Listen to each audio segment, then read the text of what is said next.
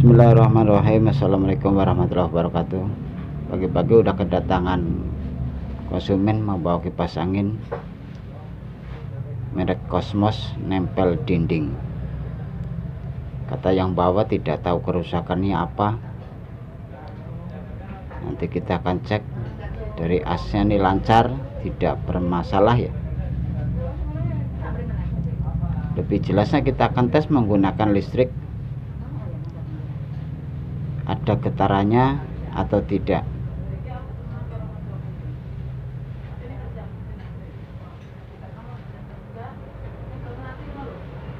Kita hidupkan dari saklar. Nomor 3 ternyata berdengung aja ya. Coba kita bantu putar kanan dan kiri. Ternyata tidak mau bergetar tapi tidak berputar. Masalahnya di mana ya? Kita akan mencoba membukanya supaya kelihatan kerusakannya apa.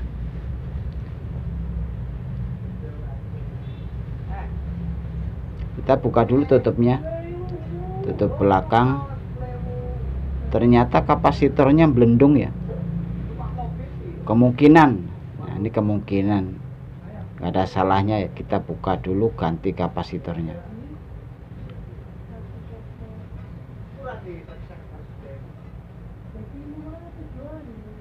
Akan buka solasinya dari sambungan.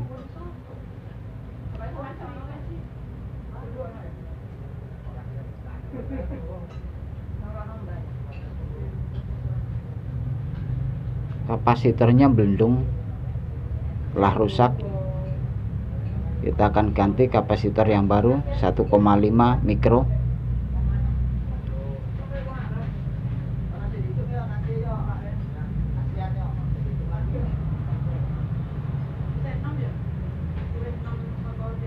Setelah kita ganti yang baru lalu kita akan mengetesnya menggunakan listrik. Alhamdulillah berputar langsung berputar kita akan matikan dulu tengokannya ya. Ternyata tenaganya juga lumayan ya. Putarannya normal.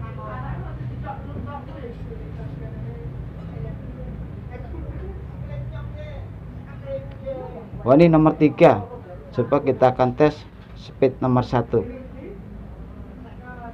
Ternyata muter kita pegang menggunakan tangan kurang kurang kenceng ya. Jadi kalau untuk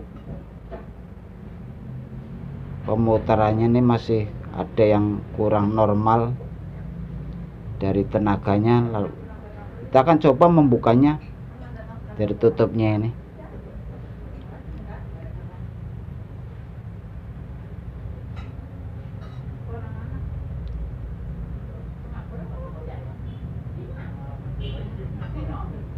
ternyata ada permasalahan di sini. Ya kalau menurut saya ini tandanya ya.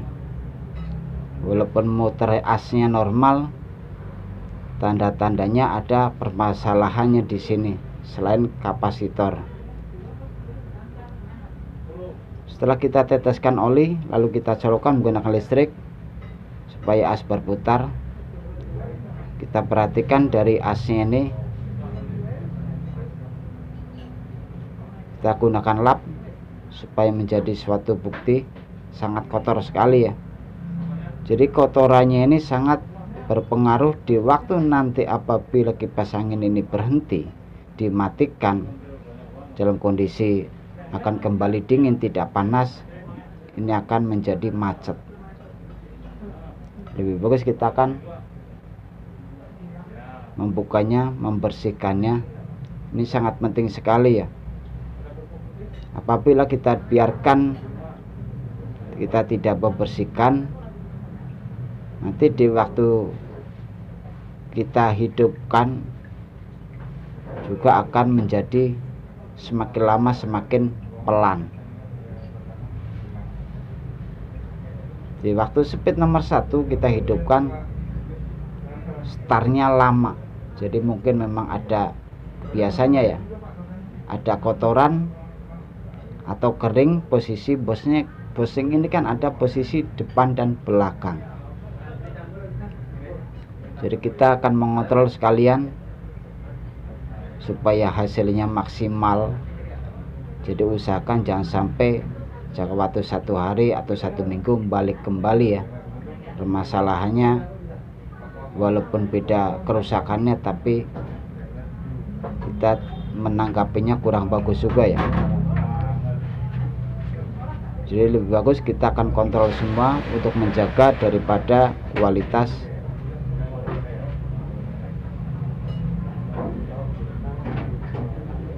Servis ya kita harus maksimalkan.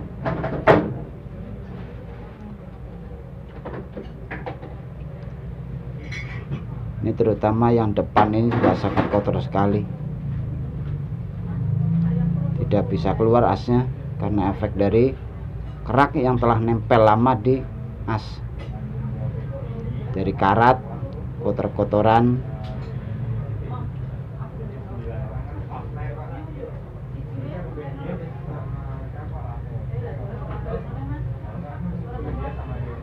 Kita akan bersihkan. Ini sangat kotor sekali.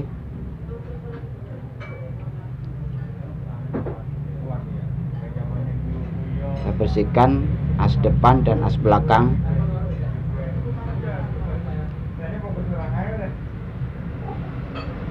Terutama di dalam ini. Berikutnya di luar juga nih sangat penting juga. Supaya benar-benar bersih.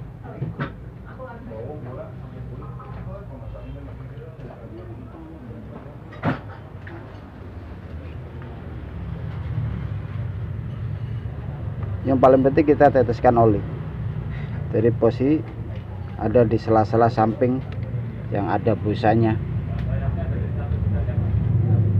Depan maupun belakang supaya sampai basah. Karena apabila kering juga akan menjadi suatu kendala ya dalam perputaran. Bisa juga dari bunyi nyaring atau dari putarannya lambat tenaganya kurang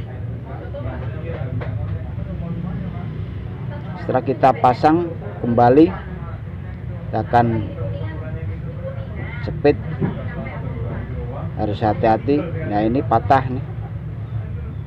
Mungkin udah dua kali atau tiga kali buka. Terkadang mengakibatkan patah.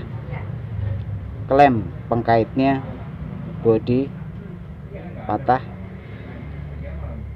Sebenarnya sangat mudah sekali ya. Terkadang ada yang disolder juga ada yang menggunakan paku kita akan lubangi dari sisi kita akan mencari sisi yang sebelah sini nih. Ada suatu tanda. Nah di sini nih kita akan gunakan paku lalu kita akan ketok. Nah seperti ini posisinya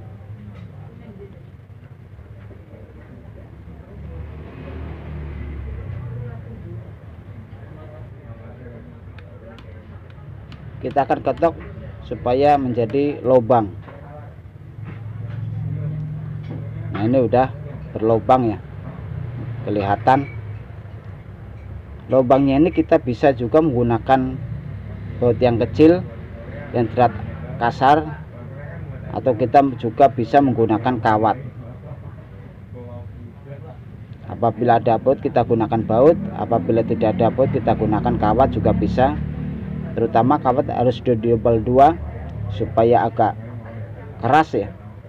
Kalau cuma satu biasanya gampang sekali putusnya di waktu kita mengkaitnya atau membelintirnya. Kalau dua kawat metode saya sangat kuat ya. Kita akan putar habis nah hasilnya seperti ini. Ini sangat kuat sekali nih. Kita akan rapatkan yang lain. Apabila ada yang patah kita akan lubangi.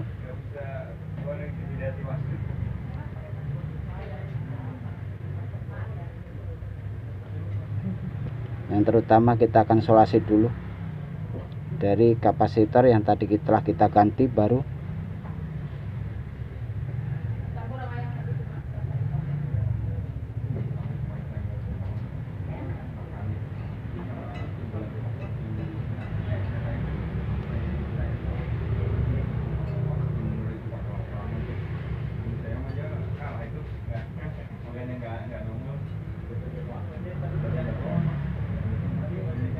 Kipas angin ini dari pengkaitnya sangat mudah sekali ya. Patah. Karena tidak menggunakan baut.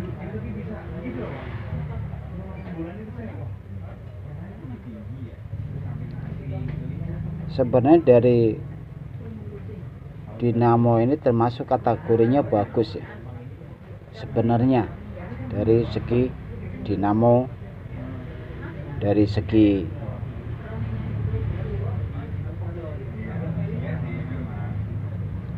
angin termasuknya bagus.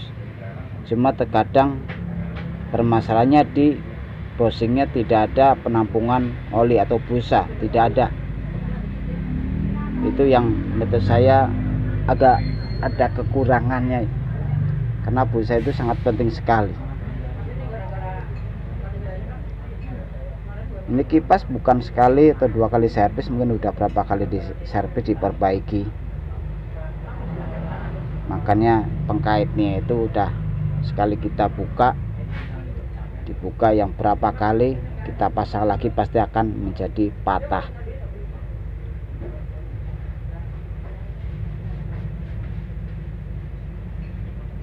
Kita akan tes menggunakan baling-baling untuk melihat pemutarannya dan anginnya speed 1 berputar.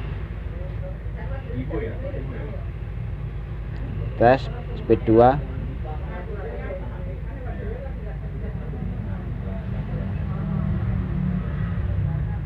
speed 3 sangat kencang sekali putarannya. Terima kasih. Mohon maaf apabila ada kekurangan dari ucapan atau dari gambar video mohon maaf sebesar-besarnya terima kasih. Wassalamualaikum warahmatullahi wabarakatuh